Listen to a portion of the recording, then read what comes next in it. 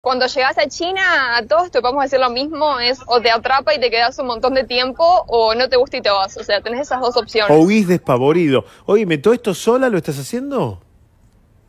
Sí, sí, todo solita. Desde que me fui de Argentina, todo sola. Yo no sé, voy a decir algo eh, políticamente incorrecto. Y perdónenme. Primero tengo que preguntar a Camila, porque estoy seguro que la respuesta va a ser no. ¿Vos tenés pareja? No. ¿Viste? Ahora voy a dar la reflexión. ¿Qué opinan ustedes? Lo voy a decir para que responda Camila si quiere. Bueno, Camila sí, vos tenés que responder sí, o sí porque sos la protagonista. Después, no, no me molesta. por eso, ya sea me di cuenta que te la recontrabancas. Te voy a preguntar a vos, después, si mis compañeras eh, y compañeros Rama quieren responder, pueden. Si no, no quieren responder porque no se quieren exponer, no responden. Pero sí me interesa también que responda la gente que nos mire en arroba canal 26 o que me escriban en Héctor Locutor OK. Porque Camila me inspira a hacer esta reflexión al aire y una pregunta. ¿Será que en determinado momento de la vida es necesario estar solo para evolucionar, para crecer, para dedicarse a lo que uno ha sido llamado, para seguir la vocación? ¿Será que, se, que solo se puede y acompañado es una complicación? Te lo pregunto, Camila. Mira, bueno, justo me se largó a llover, así que tuve que sacar el paraguas. Eh, esta, esta pregunta justo estábamos hablándola con unas amigas el otro día, amigas que tienen pareja y amigas que no tienen pareja. En mi opinión, creo que puede, puede ser de los dos lados. Viajar con una pareja puede ser más complicado en el sentido de a dónde vamos, porque tiene que ser algo que los dos podamos hacer, los dos nos guste, etcétera. Creo que es un poco más complicado ponerse de acuerdo cuando estás acostumbrado solo como yo, creo que lo egoísta sería, bueno, yo quiero ir acá, vos si querés venir. Claro. Por eso estoy sola. Em, pero mm, creo que también por otro lado eh, sirve porque si vos no estás seguro qué hacer y la otra persona sí, entonces como que también podés seguirlo y ver qué onda. Pero al estar solo creo que hay, no sé, mucha libertad. Yo en este tiempo la verdad creo que estar sola me, me dio mucha, mucha libertad de elegir a dónde ir. O sea, yo en dos años pasé a vivir en cuatro diferentes ciudades. Claro. a ver qué opinas de esta, de esta mirada que yo tengo. Hay gente que puede estar sola, que sabe estar sola, y hay gente que no sabe estar sola. Hay gente que sola se pierde, porque ni siquiera se encuentra. Y hay gente que, hay otra gente que sola no solo se encuentra, sino se enfoca. Porque esto que vos decís no solamente tiene que ver con tomar decisiones compartidas, sino con eh, la decisión de utilizar el tiempo, que es lo único que tenemos, el tiempo. Porque si vos, por ejemplo, para estudiar todo esto, te querés quedar tres días sin dormir, metiéndole, estudiando a pleno para el examen, no tenés que consultarlo con nadie y hacer la tuya. Con una pareja ya es complicado eso. Exacto, exactamente. Yo coincido en eso también. Bueno, yo nunca tuve pareja igual, así que estoy hablando sin saber. Pero a mí me gusta la libertad. No, escúchame, no, para, te, voy a corregir. Te voy a corregir. No estás hablando sin saber, estás hablando justamente desde tu experiencia, porque sí sabes un montón de cosas. ¿Qué edad tenés vos, Camila? 27. Por eso, no sos una nena. O sea, oh. mirá todo lo que sabes. Pareces una nena igual, te digo, ¿eh? Pero no sos una nena. Mirá cómo aprendiste y vos podés hablar de esta experiencia de vida. Porque también me parece, decía lo de políticamente incorrecto, porque probablemente a mucha gente esto le resuene y le genere cierta incomodidad y un poco está bueno generar incomodidad para reflexionar y para pensar. Porque ¿quién dijo que la vida tiene que ser de una sola manera? En pareja, todo junto. No, o sea, hoy este estoy presente, capaz que en 10 años tomas otra decisión. me, da la impresión que está muy bueno ser fiel a uno mismo en función de no complicarle la vida al otro, pero sí de seguir tu sueño. Sí. Exacto, es que esto me hizo pensar también, que lo reflexioné hace un tiempo también con, con mis seguidores, es que yo tengo 27 años y me acabo de recibir de un, de un bachillerato, o sea, me estudié cuatro años, capaz que estoy un poco tarde para algunas personas, pero también en el proceso me, me, gradué de la secundaria y viajé un montón, estudié otras cosas también, etcétera. Entonces creo que cada uno tiene su tiempo y que no está ni bien ni mal, cada uno va como quiere y no sé, hay que hay que hacer lo que uno le diga al corazón, creo yo. Pero escúchame, perdona que siga porque está buenísimo. es un debate para vos que nos estás mirando también. En este tiempo, sin dar nombres, estoy seguro que recibiste un montón de, entre comillas, consejos del estilo, che, mira que se te pasa el tiempo, cuándo te vas a poner en pareja, che, no estás pensando en ser madre. Viste que vienen como disfrazados de consejos esos, esas frases que son por lo menos desubicadas, porque vos sabés lo que querés. Distinto es el que no sabe lo que quiere y va a los tumbos por la vida. Vos sabés lo que querés, digo, es como respetame que mi vida y mi felicidad está acá, ¿o no? ¿Recibiste esas frases disfrazadas de consejos? Sí, aparte que yo no quiero ser madre y también es como que, ay, te lo vas a pasar viajando y sin hijos y sí, obvio, yo soy feliz así y bueno, iré con el flow. Yo siempre digo, yo voy con el flow, tengo obviamente mis objetivos, tengo todo en mi mente, pero si las cosas no se dan como uno quiere, bueno, ponele hace dos días tuve problemas con mi visa que casi no me la dan y ya estaba viendo, bueno, ¿para dónde me voy? Eh, uno tiene que ver qué pasa. Eh, así es, si no, te volvés loco. Qué buena mirada esto de adaptarse, siempre buscándole lo positivo a lo que pase. Mira, imprevisto va a haber siempre, pero uno va volanteando en el momento y viste que dicen no hay que preocuparse tanto. Cuando ocurre el inconveniente, confía en vos que vas a saber resolverlo, ¿no?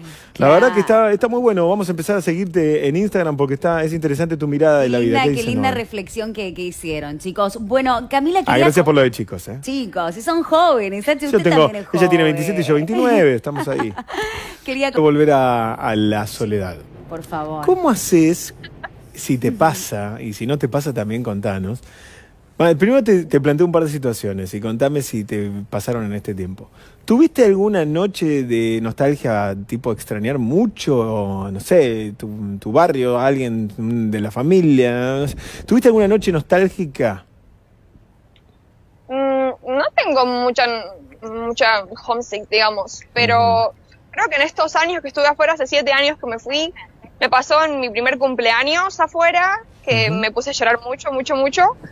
Y mm, creo que me ha pasado una sola vez más en estos siete años. ¿Por qué lloraste en ese cumpleaños tanto? Porque mm, yo estaba haciendo un programa ya donde tenía que trabajar cuidando niños. Em, y me acuerdo que ese día estuve con los niños y me volvieron loca y dije, qué cumpleaños feo.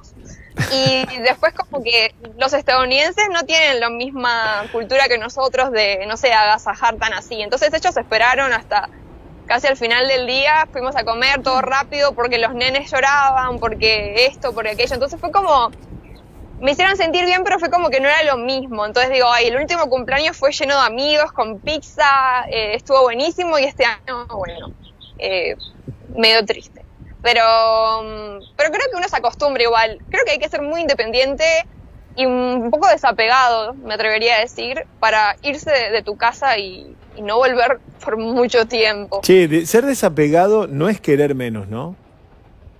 No, no es querer menos, porque yo a mi familia la amo y por más de que yo no se los diga nunca y capaz que me contacto con mi mamá dos veces al mes, soy mala hija, eh, no significa que no los quiera, significa que no sé, estoy, tengo mi vida y siempre estoy muy ocupada y bueno, no sé, capaz que no me contacto tanto como debería, pero yo lo sigo queriendo y obviamente me encantaría volver a Argentina, verlos, abrazarlos, comer medialunas.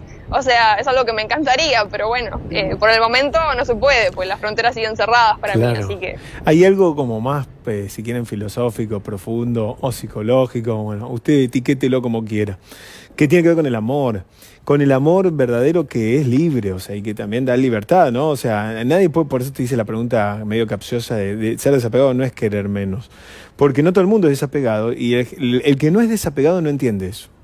Eh, es, cree que apego igual amor y no es así, o sea, es lo mismo que con algún amigo, por ejemplo. Creo que todos tenemos amigos y amigas y algunos de esos amigos se van de nuestra vida cuando empiezan a sentirse mal porque uno no está presente en determinados momentos. Bueno, entonces no sé hasta dónde podemos sostener una amistad si vos no me aceptás como yo soy. Digo, o, si a vos te molesta esta parte. Y después tenés los otros amigos o amigas, digo amigos para no meterme con la familia de nadie, que quizás pasan cinco años que no los ves, pero te encontrás y es como levantar la pausa y está todo bien y, y, anécdotas y eso, ¿no? Porque es como, te quiero tanto que me pone feliz verte feliz, ¿no, Camila? Exactamente, de hecho cuando fui a Argentina la última vez hace tres años, a mis amigas hacía como años y medio que no las veía y no nos hablamos mucho. Imagínate que con mi mamá me hablo dos veces al mes, con mis amigas dos veces al año. Eh, pero siempre, por suerte, las redes sociales ayudan a que ellas vean mi vida y yo vea la de ellas y nos comentamos y de vez en cuando hay un... No hablamos, pero me alegra que te pase esto, estás hermosa, ¿cómo estás? Eh, es como que esas cosas que cuando volví la última vez era como si nunca me hubiera ido. Gracias, gracias por la nota, chicos. Chau, Este chau. aplauso para vos, ¿eh? Camila en vivo en China, ¿eh? Gracias, Cami. Quedaron todos pedaleando Qué en el aire, ¿no? reflexión que mentiste, señora. Y me parece que tenía, pensado estudiar algo más ahora a los 43 ¿Sí? años. Estaba pensando para el año que viene empezar a estudiar. Tenía tres opciones. A para ver. no, dos opciones de cosas que quería estudiar. Quería estudiar mm, una tecnicatura en periodismo Sí, para seguir aprendiendo perfecto. o psicología.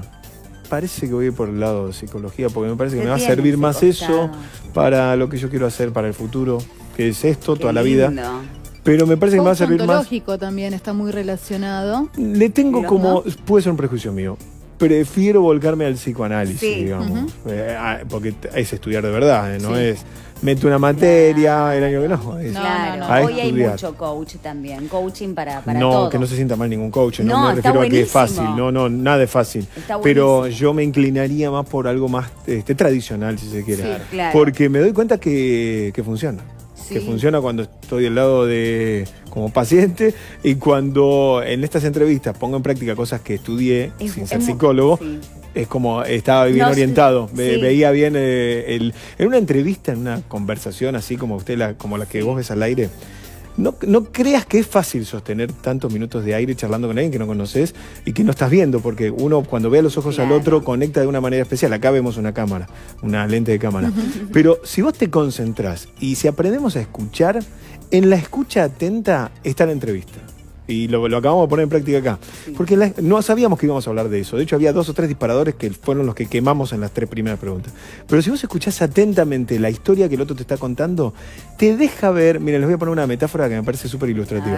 Te deja ver como un ovillo de lana el otro, ¿viste? Es como que el entrevistado hace esto, en algún momento de la respuesta, su inconsciente habla y te muestra un ovillo, un ovillo de lana. Si vos lo ves, lo tomás, el, el hilo, la lana, Sí, y es empezás a tirar, y empezás a tirar, y empezás a tirar, y se da la entrevista. Fíjate todo lo que dijo ella, que obviamente de alguna confirmaba lo que yo estaba en las preguntas, la estaba invitando a decir, pero no para este, coaccionarla que dijera eso, sino porque me daba cuenta que era por ahí la historia. Claro. Eh, digo, me parece interesante porque a todos nos pasa lo mismo. Como televidente, uno cuando está observando una conversación de este estilo, Sí. toma partido, aunque no lo hagas, aunque no lo verbalices. Vos en tu casa ahora, solo, sola, con tu pareja, con quien estés.